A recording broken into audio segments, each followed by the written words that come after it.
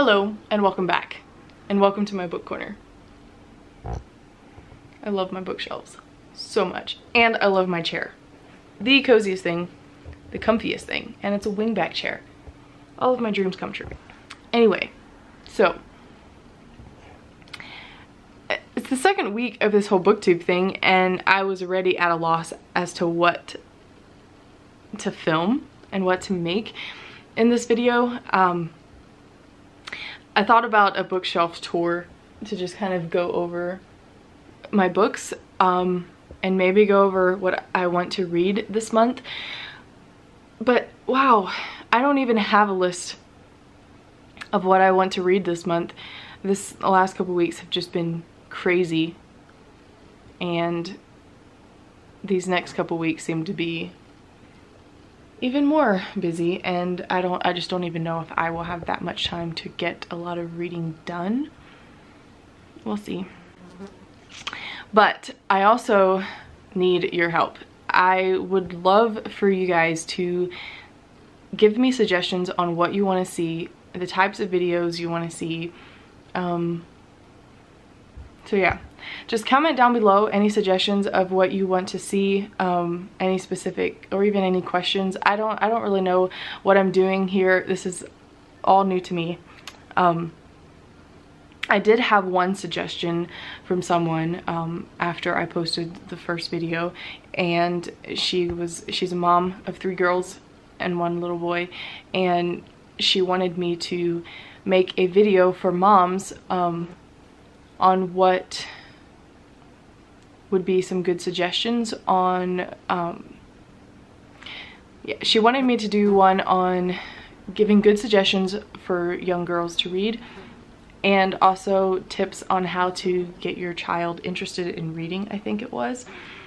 Um, so that is an idea and it's a re actually a really good one because I have ideas for young girls to read and also tips on um, getting your children interested in reading. I have no children, but I do have some ideas um,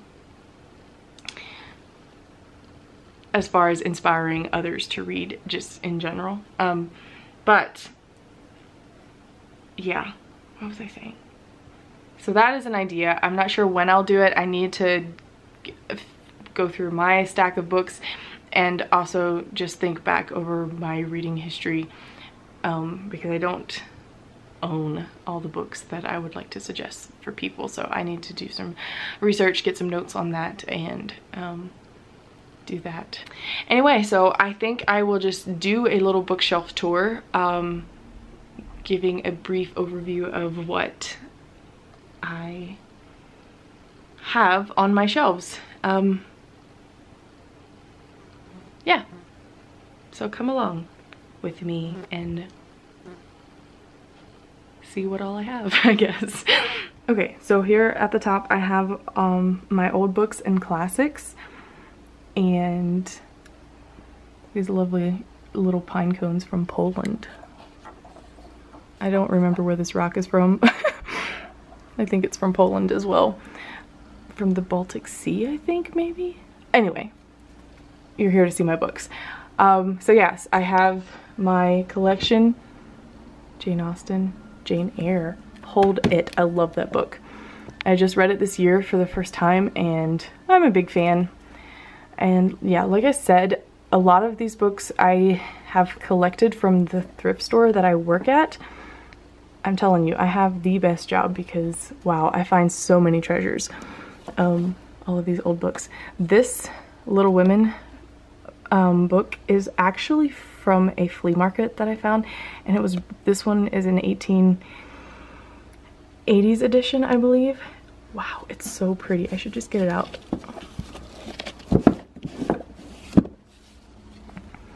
It is seriously just so pretty. Oh what is that?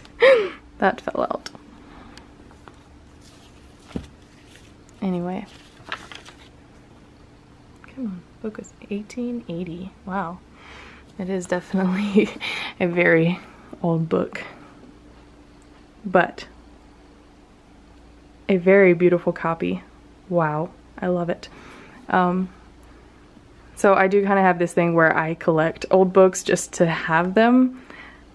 And this one is probably just going to stay on the shelf and I probably won't be reading this particular copy because I do want to preserve these books because they are very old. But I did find this copy at the thrift store the other day and I just think it's the prettiest thing. It is paperback and I usually prefer um, hardcovers, but I just thought this one was so pretty with all the little details. I love it so much. So this will probably be the one I will be reading when I reread this book. I did not read Little Women until I was 21. Wow, how sad is that? But I loved it. Anyway, so there's my Sherlock Holmes and all of the old classics. Also, how, wow. I did not realize that Louisa May Alcott also had this book. Has anyone read it? Is it actually any good? It's kind of falling apart, so I rescued it and decided to keep it for myself instead of selling it. Because, yeah, it is falling apart, but I only knew of Little Women and Little Men and Eight Cousins, I believe, by Louisa May Alcott. But I didn't know about this one, so I'm excited to read it and hopefully it'll be as good as her other books. Um, and this little thing is the cutest gift someone gave me. It's a light in the shape of a book. It's so cool. Anyway, let me see what else do I have here. Yes, all the old books anyway and then down below here is all of my history and as you can tell I have a lot from the World War II era because that is probably one of my most read um, time periods as far as history goes. It's just so fascinating. There's so many stories that like, yeah, you just basically get the, um,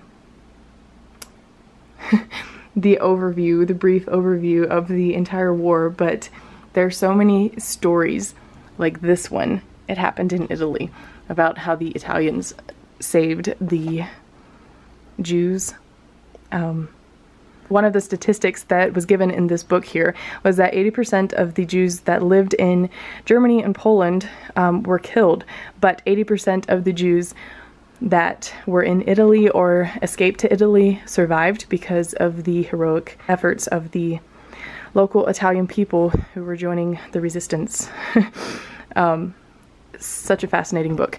And so it's just little stories like that that I love to go deeper into the personal lives of everyone who lived through that time period.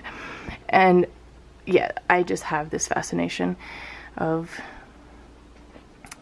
that time period and just learning more about what went wrong with man, mankind, that they could do such horrible atrocities. Um, I haven't actually read all of these books, but I'm definitely wanting to at some point.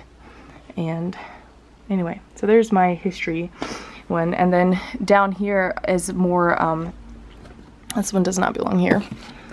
This is more personal or true stories and biographies and autobiographies that I have collected and then then over here on this shelf is where I have all of my fiction books. Um, these are my Christian fiction books here up on top and down here on the bottom.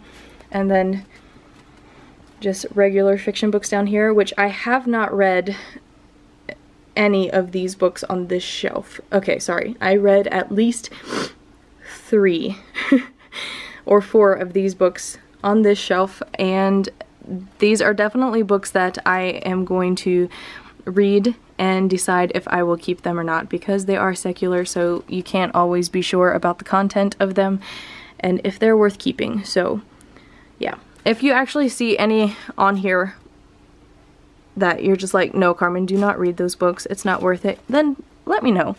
But as I said I see books that catch my eye and I think would be interesting. And so I bring them home and we'll just have to see if I want to keep them or not and I will let you know. And I have this basket down here as well.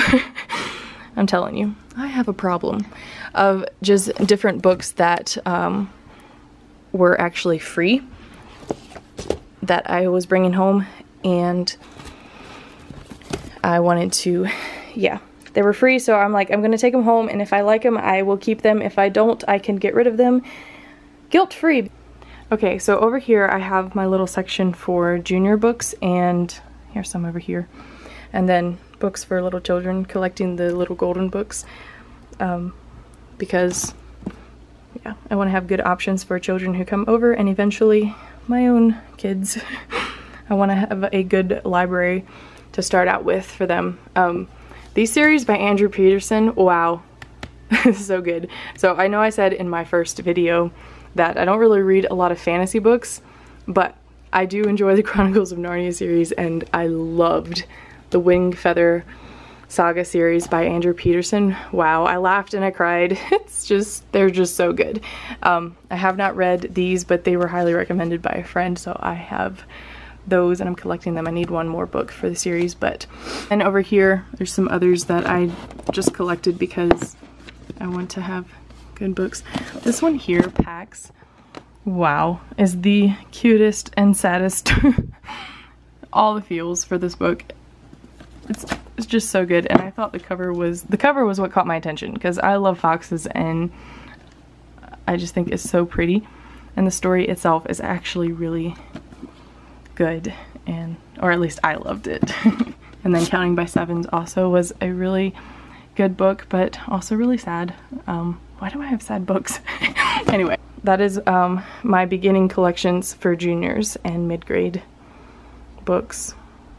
And then over here I have my books, um, Christian inspirational books. Um,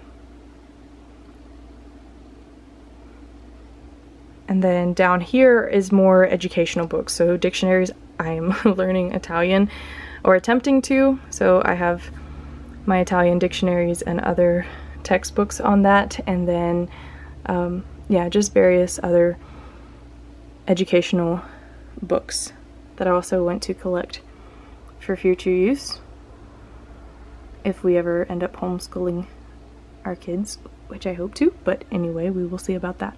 So that is my educational book, inspirational books. So there you go. That is a little tour of my bookshelf. Um, my problem is I collect books all the time because I just think they look so fascinating and I just I just want to read them all and so I buy them and I stick them on my shelf and I don't get around to reading them. The TBR is unending. It's so tough, but it gives me a sense of um, peace. I don't know if that's the right word, just knowing that they're on my shelf and I have the opportunity to read them when I want to actually get to that book and read it. Um, and so, yeah. once I start reading, I will probably start eliminating some books off of these shelves um, just because I used to be a hardcore book purist where I have to keep all the books just just because I have them but I've been learning to let go of books that I know I will not read again even though I may have enjoyed them um, now the old books and classics, like the collectibles, I would probably keep those even if I don't read them. But um, yeah, there's just a lot of these books probably won't stay on my shelves forever because I want to make room for other books that I do actually want to keep and that will probably read again or would highly recommend and give out to other people to borrow. But yes, also I do have a Kindle. Um, like I said, I'm a book purist and I like to actually have a real book in my hands. Um, but I do have a Kindle. It was a Christmas gift a couple years ago and I do actually like that for traveling because you can't bring your whole library along. bring it all in one device and you can read even though I still take a, an actual book with me when I'm traveling. But I do have it as an option for those books that are only on Kindle. Um, and then also I actually do a lot of audiobooks now because I'm working and I can listen to audiobooks or podcasts while I'm working. And again, a book purist when it comes to audiobooks, I'm like, no, I have to actually read the book to count it as being read. But learning to let that go as well because I actually want to there's so many books out there with like so many good books that I could never actually sit down and read them all and so I have so many hours at work that I can fill up by listening to these audiobooks and it does help to listen to audiobooks knowing especially if it's a book that I don't have that I can read or listen to it and decide if I actually want to buy the actual book and keep it on my shelf or just be like nope we're gonna just leave that one. Um, there are some books that I refuse to listen to on audiobook because I actually want to read them. It's just I don't I don't know what this is. I just have to actually read the book. But anyway so yes that is that is what I have my library my very big little library. but anyway, thanks for watching. Again, let me know in the comments below what you want to see um, or any tips, any questions, I don't know. I like to actually, like I said on the other one, I like feedback and I like to actually talk about things. Um, so talk to me. What do you want to see? What do you not want to see? what do I need to change to make this better and more enjoyable experience for you. Um, yeah, anyway, I'm gonna go make some coffee and get started on my actual to-do list for the day because it's a busy day, it's a full day. But I wanted to quick come on and do this because it is Friday and I want to start being consistent with these videos. So, like I said, thanks for watching. Subscribe if you're interested in seeing more and give it a like if you actually like. Leave honest reviews is what I'm saying. That's all I want. I'm not here just to get a lot of likes and a lot of views because if you don't actually like it, then don't like it. Um, I want honest feedback and honest reviews so that I can improve what I'm doing here and um, give you guys the best experience um, and yeah, give you guys what you want to actually see and enjoy watching. So anyway, again, thanks for stopping by. I really appreciate it. Um, this is a very big new project for me, um, but it always helps when you have people supporting you and cheering you on. So anyway, yes, thank you, and I will see you guys next week.